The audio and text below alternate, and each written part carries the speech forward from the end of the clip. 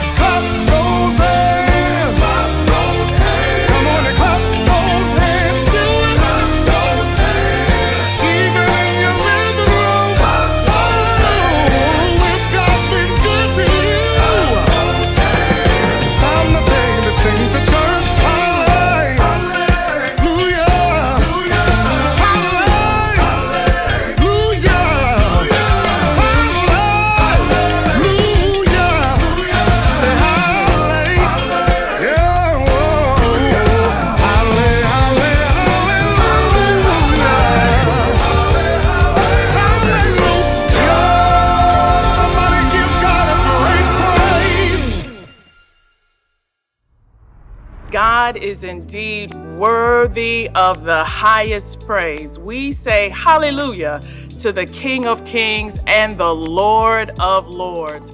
Welcome to the very first Sunday in the month of July 2020. I am Reverend Thea A. Wilson, and it is indeed an honor and a privilege to serve as your presider on this Sunday. If you have your Bibles, please turn with me to the book of Malachi, chapter number two. We're going to begin reading in verse number 11. And while you're turning there, please share the link with anyone uh, in your family and friends. We want to share the great news of what God is doing here at First Baptist Church of Glenarden. Malachi chapter number 2, verse number 11. And the word of God reads Judah has dealt treacherously and an abomination has been committed in Israel and in Jerusalem. For Judah has profaned the Lord's holy institution, which he loves. He has married the daughter of a foreign god. May the Lord cut off from the tents of Jacob the man who does this, being awake and aware, yet who brings an offering to the Lord of hosts. Hallelujah. The word of God is already blessed. Will you pray with me? Dear Heavenly Father, how excellent is your name in all the earth. Lord, as we enter into your gates with thanksgiving and into your courts with praise, God, we are thankful. We're thankful, Father, that you are our refuge God, we thank you for being our strong tower. God, we thank you that though we walk through the valley of the shadow of death, God, we fear no evil. For your word tells us, Lord, that you'll never leave us nor forsake us. Thank you, God, that goodness and mercy follows us all the days of our lives. And though we're not worshiping together here in the sanctuary, Lord, we dwell together in your house forever. God, please forgive us of our sins. Cleanse us from all unrighteousness, Lord God. And we thank you, Lord, for your word that's forever settled, Lord, and that will be brought to us, Lord, by our pastor. God, we thank you for the man of God. We ask that you anoint him and anoint the word, Lord God, so we will be more like you today than we were yesterday, Lord. Please draw by your spirit, Lord, those who need salvation, those who need reassurance, and those who need to recommit and need a church family, Lord God. We thank you, Lord, for having heard this prayer. God, please perfect everything that concerns your people, Lord God. Your word tells us we don't even know what we ought to pray for, God. So we ask that you intercede, God, heal, set free, deliver, Lord God, and meet every need. Thank you, Lord, for hearing, and thank you, Lord, for answering this prayer of petition and praise. For thine is the kingdom, and the power, and the glory forever and ever. Amen. Amen. Well, First Baptist, it is now time to give. We thank you so much for being such great givers. Your giving allows us to continue in ministry we have ministries meeting every day of the week. Thank you so much. Please give online or you can write a check made payable to FBCG. The ribbon with the address is right below the screen. Thank you again for giving. Please pray with me. Father, we thank you, Lord God, for these gifts. We ask even now, Lord God, that you sanctify and that you bless them and that you receive them, Lord, as a sweet smelling aroma in your nostrils. In the name and through the blood of the Lord Jesus Christ, we pray and give thanks. Amen. Now we will have a musical selection by our fellowship chorale. God bless you.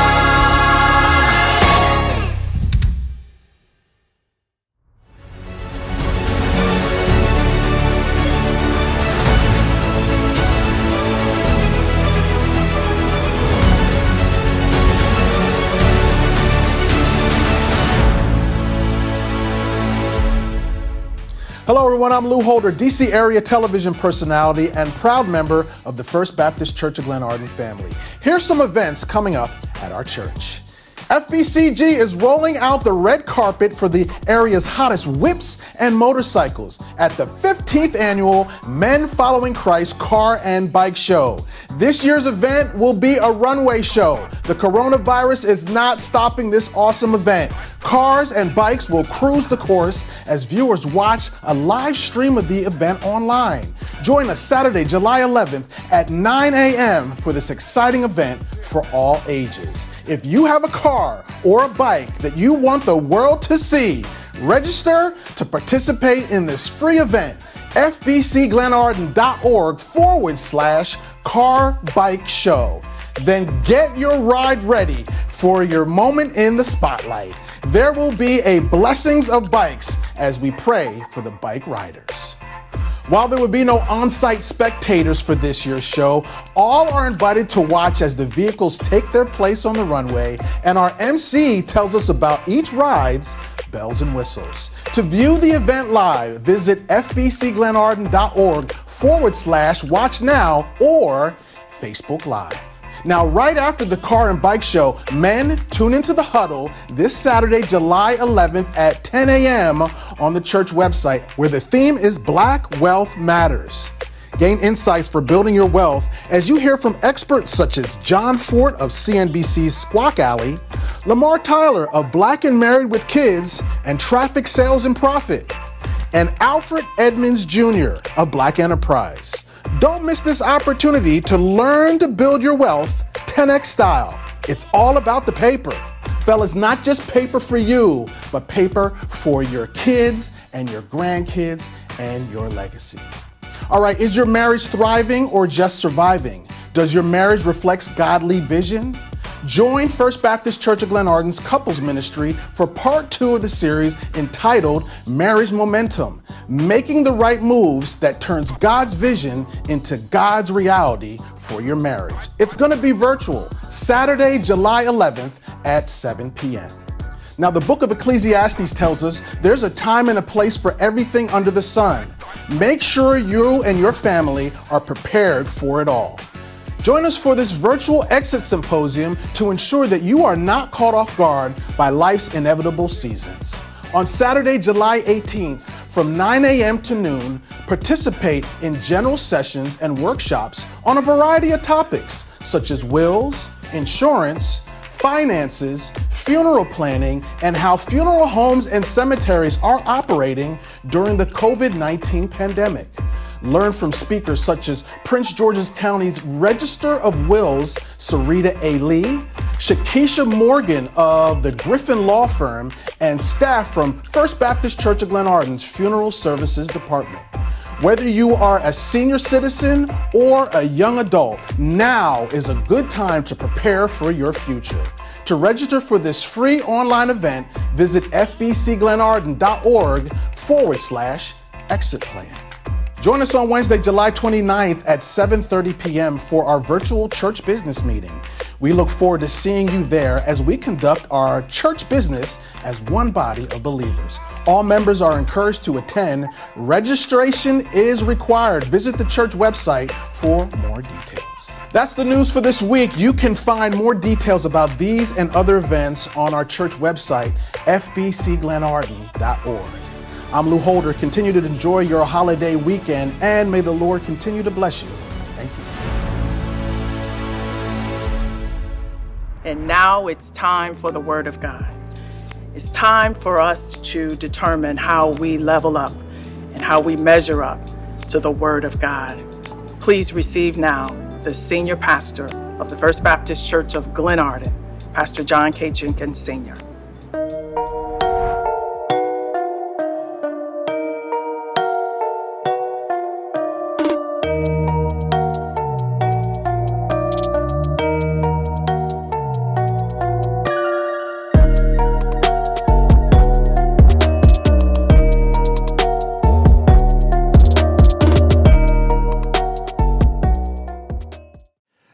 praise God. Amen. Thank God for the worship of Almighty God. And thank you today for joining us today, wherever you are. I'm excited for the opportunity to worship our God. He's worthy to be praised. And I want to thank you for joining us wherever you are in the country or in the world. Before we dive into the word today, I want to do what we do every Sunday. We take a moment and we pray and intercede. And in particular, we pray for people who we love, who we know need the Lord Jesus in their life.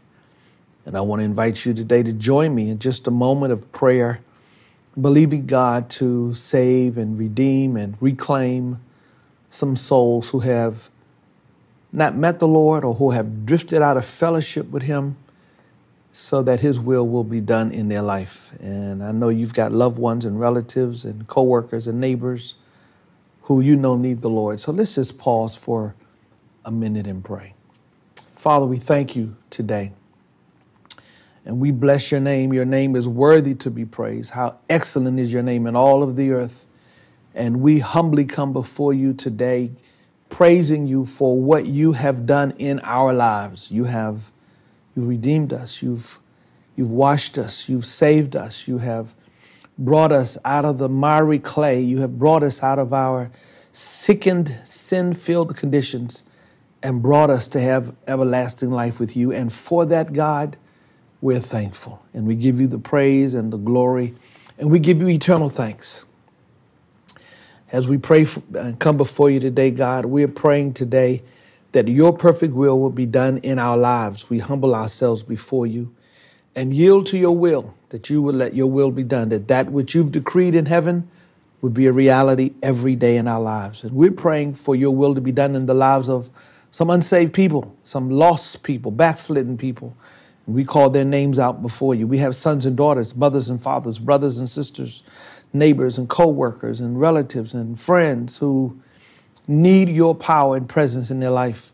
And we pray that you would interrupt their lives by the power of your Holy Spirit and arrest them and bring them into the kingdom of God. We thank you, Father, that you're inclining your ear to our prayer and that you're hearing our cry. We're praying that you would meet the needs of your sons and daughters today in the midst of the, the dynamics that we face in our community and our culture.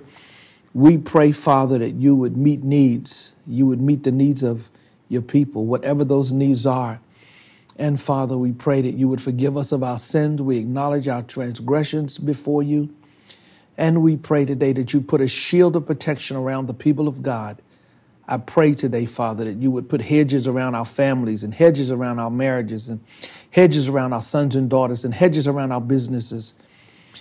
And we pray, Father, that when it's all said and done, that we would be witnesses for your kingdom, that we're, when we finish the journey, Matter of fact, while we're walking in the journey, that we'll be able to give your name and your kingdom the glory and the honor. Anoint us now for these next few moments to share this most difficult message with the people of God. Allow hearts to be open and receptive, Father, and to hear.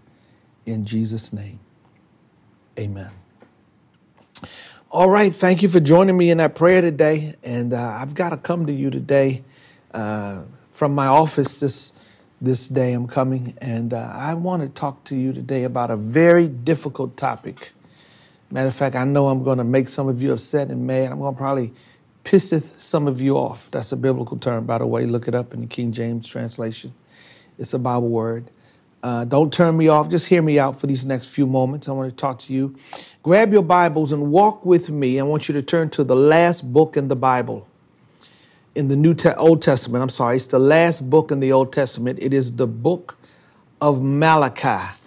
The book of Malachi, the last book in the Old Testament, the book of Malachi. I want you to turn to chapter 2, and I want to do my final installment of this series I'm in on home. And I've been spending the last several weeks talking to you about home and family, and we've been looking at the elements that have created challenges and problems for our families and for our home to survive and make it. We've talked about those areas, conflict that were not able to be resolved, and finances, and we talked about money, money management, and we talked last week about sexual immorality.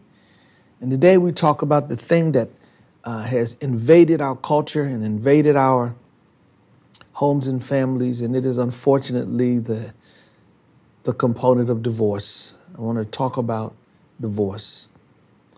And I, I want I want you to just hear me out today. I'm certainly not seeking to uh, make anybody feel shame or guilt. Uh, I want to I want to talk to people who are contemplating divorce, who are having troubles and challenges in your marriage. I want to talk to you. I want to talk about uh, those who have not gotten married yet, but you are con- contemplating marriage or you're looking forward to marriage. I want to spend a moment and help you see God's perspective on how God views and how God looks at the whole institution of marriage and how He feels about it. I think it's a very important uh, element and component to take a look at uh, before you do it. And so, uh, this book of Malachi speaks to it. Now, what's important about the book of Malachi is that it is the last book in the Old Testament, and God is giving some final words to the children of Israel before he will be silent for 400 years. It'll be 400 years after Malachi before God speaks again, before he has anything to say, before he shows up on the scene again. Here's his final words. And believe it or not, he has a lot of things to say. He talks in the book of Malachi about fathers and their children, and he talks about marriage he has something to say about marriage. He has something to say about tithes and offerings and giving and serving. He has a lot to say in this book of Malachi. But I want to want you to go to chapter two, and I want to I want to look at uh, verses uh, eleven through seventeen. But let me pick up at verse seventeen. Let me let me start at verse seventeen because it, it it says something there that I found alarming. I was startled to read this 17th verse of chapter 2. And what does it say? Here's what it says. This is this is it. Look listen to this. You have wearied the Lord with your words. You have wearied the Lord. That, that's the thing that captured my attention. Here's what startled me that here's a place in scripture that says that we have the capacity to wear God out. It says, You've wearied the Lord. I mean, out of all of the things I would never think, when I think about the nature and the makeup of the God that we serve, can we actually wear him out? Can we weary him? Can we drag him down to where the God we serve is wearied? But that's what Malachi says right here in verse 17. You have wearied the Lord. I know people get weary, but I'm shocked to see that the scripture says that God has gotten weary. And the question is, how does God get weary? He doesn't get weary easy. It doesn't happen quickly. As a matter of fact, the text says right here, look, look, look what is happening. It says, it says, You've wearied the Lord with your words. Yet you say, In what way have we wearied him? How did we weary him? Here's how we do it. He says, You've wearied him in in in what way have we wearied him? Here's how you do it in that you say, everyone who does evil is good in the sight of the Lord. Stick a pin right there. He says, he says, here's what's wearied God. He's wearied because you are saying the people who are doing evil, you're saying what they're doing is good. Everyone who does evil is good in the sight of the Lord. That's what you say that it's okay, that there's behavior, there are actions, there are choices, there are decisions that are being made, and you say it's okay. You're saying it's okay in the sight of the Lord, it's good in the eyes of God, but yet God calls it evil. And this has wearied God. This has brought him to a place of weariness and tiredness and frustration. And I dare to say to you today that that's what's continuing to go on today. People are wearing God out. And in order to get the full picture of what God is saying, we've got to back up and pick up at verse number 11. The question is, how have we worn God out? And what are, what are people doing that God says uh, is evil, but yet we say is good? Verse 11 says, Judah has dealt treacherously and an abomination has been committed and is in Israel and in Jerusalem. For Judah, that's the people of God, for Judah has profaned the Lord's holy institution, which he loves. Stop, stick a pin there, stop for a moment. It says, Judah, the people of God, one of the tribes of Israel, one of the chosen people of God. And that, that would mean you and I today. We're the chosen people of God. And matter of fact, Judah is the tribe that has the assignment of praise and worship. And it says, Judah has profaned the Lord's holy institution which he loves. God doesn't have a whole lot of institutions and he and one of them is the institution of marriage. He loves it. God loves the institution of marriage. Why? Because it is an example. It models the relationship between Christ and the church. It is a it is a an institution that shows the relationship between a loving God and the people that he's chosen. And when people look at our marriages, what they're supposed to see is what it looks like between God and his people, between Jesus and the church. That's what's so sacred about the institution of marriage. It is a holy institution.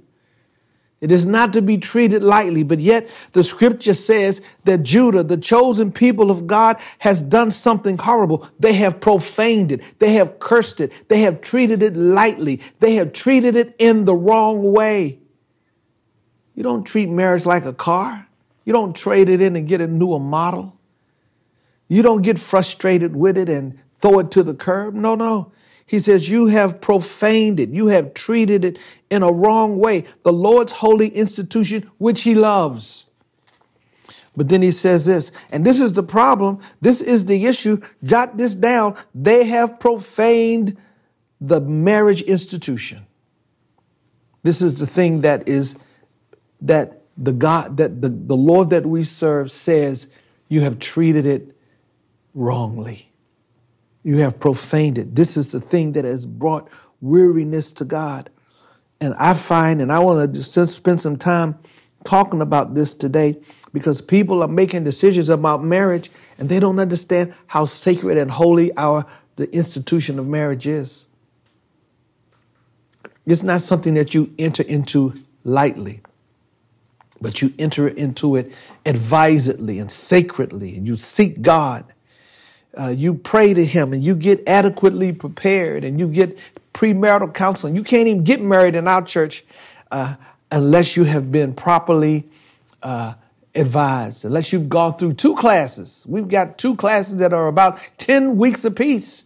We want to make sure you understand the sacredness of the institution that you enter into it lightly. And here's what they did. Here's what he says in verse 11. He says they, they have profaned the Lord's holy institution, which he loved. And look here. He has married the daughter of a foreign God. Here's what that means. That they have chosen to get married to somebody other than whom God told them to marry. That's what Judah's problem is. They have, they have married the daughter of a foreign God. They, you know, one of the things we try to do is prepare people for marriage and tell them that there's some certain criteria that you must observe before you marry. You need to make sure of certain things about who you marry. Did God tell you to marry this person? Or is this what your flesh is telling you? Is your old nasty flesh telling you to do it? We encourage people to make sure they have their parents' blessings. Make sure you're both headed in the same spiritual direction. Make sure that you've got a word from God. There's certain things that we think ought to be observed. Make sure that you have the blessings of your parents. There are certain things that are indications, but yet people are getting married with no regard for this. They're getting married to people that one is saved and one isn't saved. One is headed toward the Lord and one is even, ain't even thinking about the Lord. That's being married and getting engaged and getting uh, connected with a foreign God. Matter of fact, verse uh, number 11 is trying to tell us and give us the warning from the Lord that you are profaning, you are treating it lightly, you are treating it with disrespect the sacred institution of marriage. And that's not the only thing they did. This is not the only thing that we regard. They not only uh, uh, got married to the wrong person without the blessings and favor and direction of God. I'm warning you, hold up, let me pause. Don't let me not rush through this. Let me say to the people who got married and God didn't tell you, He's a God that will forgive you if you confess and repent and say, God, I'm sorry I did this. But guess what? He's a God that can fix what you've done. That's what I love about God. He's a God that can repair what you broke. You may have dishonored him, but give him an opportunity to fix it. You just don't walk out of it. Don't walk out of it. Maybe you didn't do it right at the start, but the God we serve has the capacity and the ability to repair. If you repent fall on your knees and tell God that you've made a mistake, and ask God to fix what's been broken. He'll do it for you. I believe it. He's an awesome and an incredible God who's looking for the opportunity and the power to make right and show you how awesome He is. But hold up, that's not the only thing they did. Slide down to verse number 13 and 14. It says, and look at it, verse 13. And this is the second thing you do. You cover the altar of the Lord with tears, with weeping and crying. So he does not regard the offering anymore, nor receive it with goodwill from your hands. Here's what the scripture says. You're crying and weeping because you made a mistake and you're asking and praying out to God to make a change, but you haven't repented. Matter of fact, you're weeping and crying and even the offering that you're offering to God, the scripture says he doesn't even receive it anymore. And you want to know how come God doesn't see, doesn't see your tears and doesn't respond to your crying and doesn't receive your offering. Verse 14 says, Yet you say, For what reason? Why has God turned his back on our weeping and our crying? Why has he not heard and received our offering? He says, Because the Lord has been a witness between you and the wife of your youth, verse 14, with whom you have dealt treacherously. Yet she is your companion and your wife by covenant. You haven't treated your bride like you should. You've disrespected your wife or your husband, put it both ways. You've disregarded them. You haven't honored them. You've given more love, more respect to others. And you have dealt with your spouse in a treacherous way.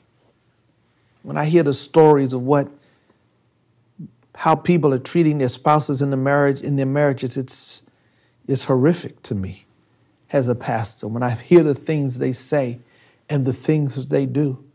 And I think it's my assignment is to raise the banner and raise the flag and give a warning to all of you who are not treating your spouses appropriately. It's a warning from God. It, it is, it is a, a, a cry that no wonder some of our children, some of the children don't want to get married because they saw their parents and how they lied on each other and how they treated each other and how they disrespected each other. No wonder our children don't want to get married. They haven't seen a good model of what a marriage looks like. I've counseled so many young people who said they don't know if they want to get married or not. But marriage is a holy institution that God respects and loves. God loves that institution. He loves it. And you know what I don't know about that? God loves marriage so much, he'll bend over backwards to make yours work. He'll move heaven and hell to make your marriage work. If you head in the right direction and if you make the right choices and if you do the right things, he will move heaven and earth on your behalf to make your marriage work. That is the will of God, but we're too quick. We're too anxious. We treat marriage like it's a contract. It's not a contract, brothers and sisters. Marriage is a lifelong covenant. You just can't walk away and go and get another one. I'm talking to somebody here today who's frustrated in your marriage and you're trying to walk out. My assignment today is to challenge you and to appeal to you, to tell you to give God an opportunity to fix it. You know why people walk away from their marriage? Because they have a concept that God wants them happy.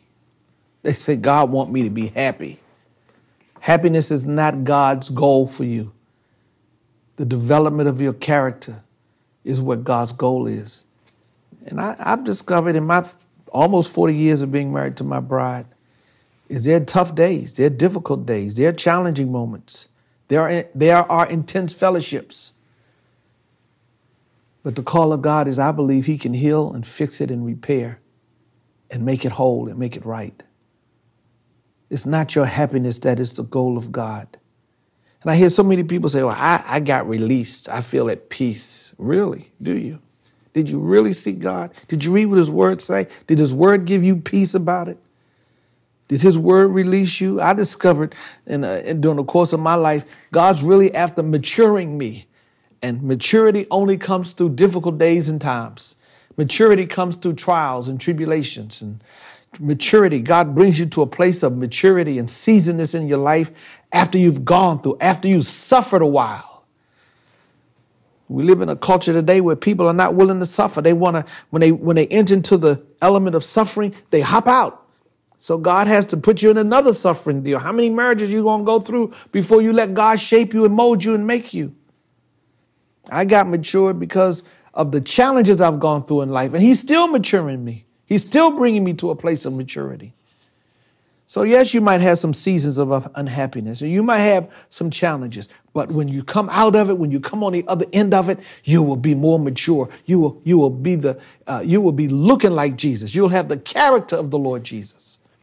And that is his cry. It is his burden. It is his desire. It is what he wants. He wants us to have that heart. And so he tells us uh, in verse 15 right here, uh, did he not make them one? He put you in the union and made you one. That's what marriage is taking two people and making them one. And, and then it says this having a remnant of the spirit. And why one? Why did God make you one? Here's why. Here's why God loves the institution of marriage. Not only is it a reflection to the world of the relationship between Christ and the church, between God and his people, but here's why. Verse 15, he says, He seeks godly offsprings.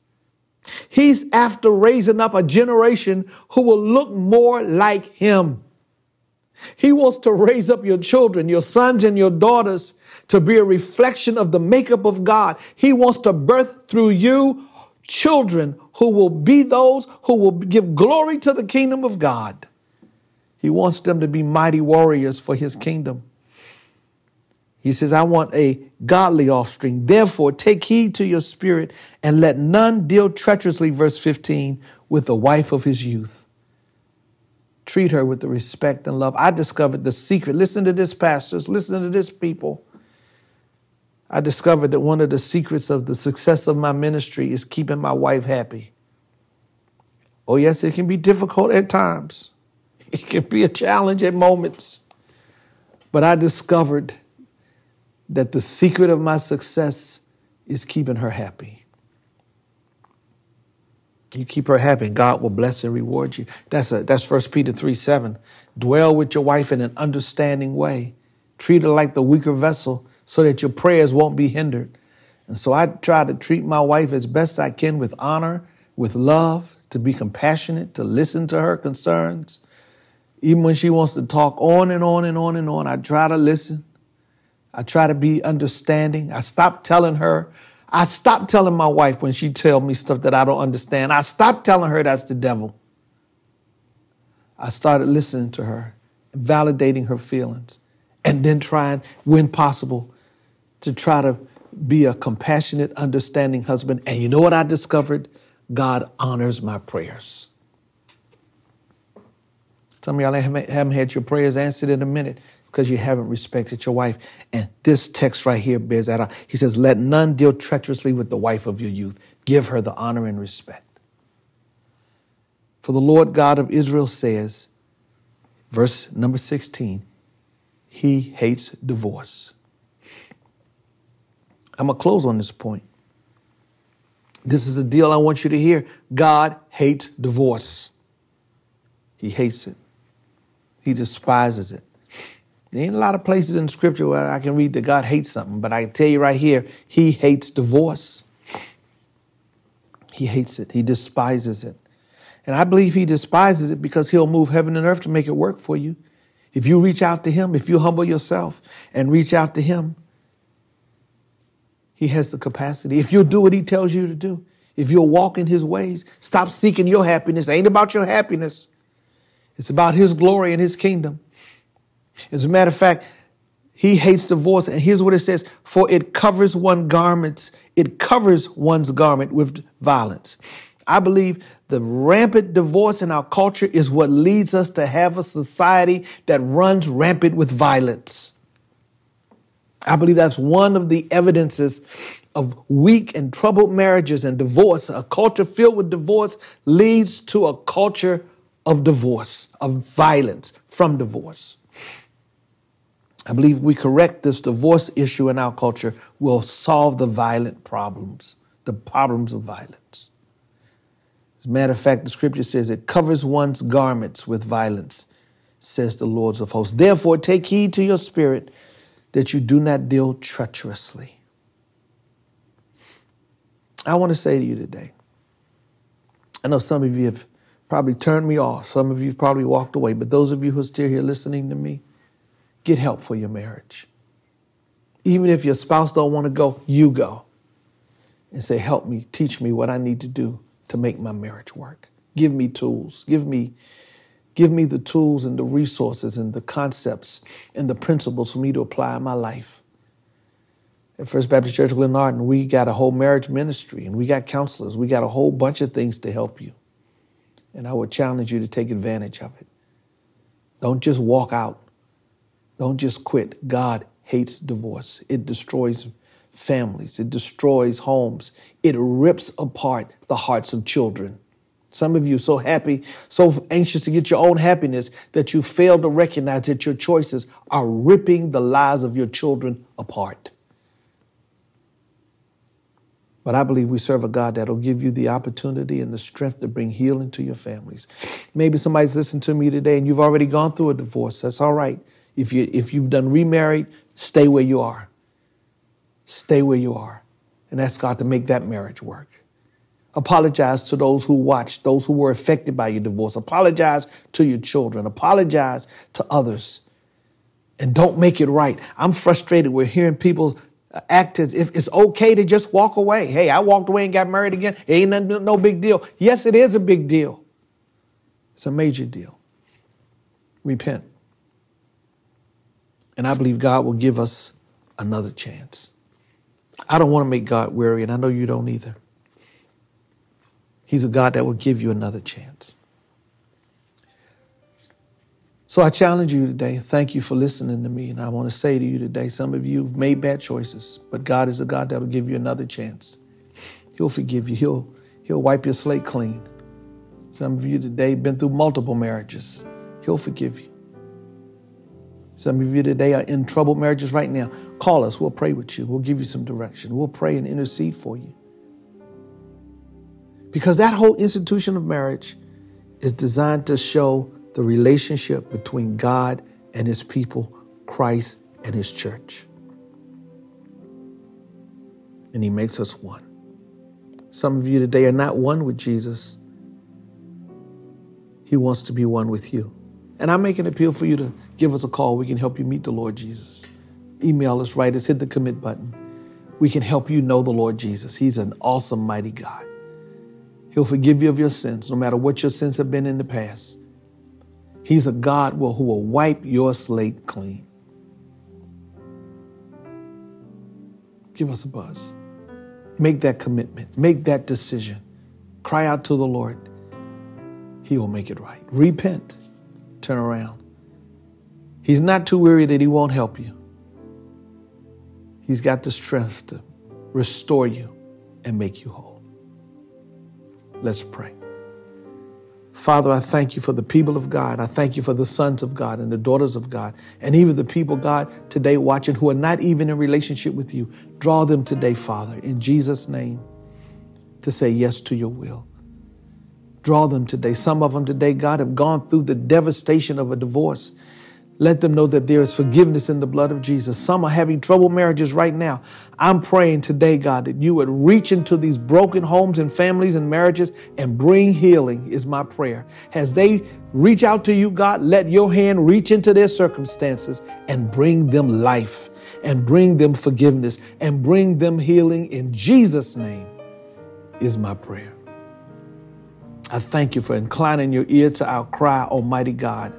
I thank you that you love us, that you give us another chance at life. And I pray that you make it whole and heal them in Jesus' name.